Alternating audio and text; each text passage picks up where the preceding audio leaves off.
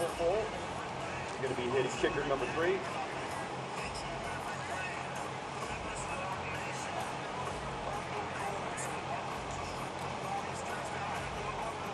And she's on course.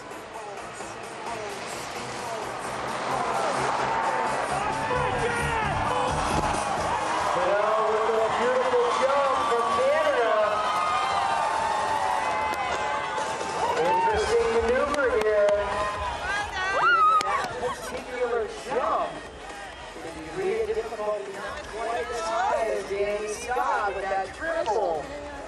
So we'll have to do that. Oh, and she's in the second place, 97.99. That means Danny Scott gets the victory.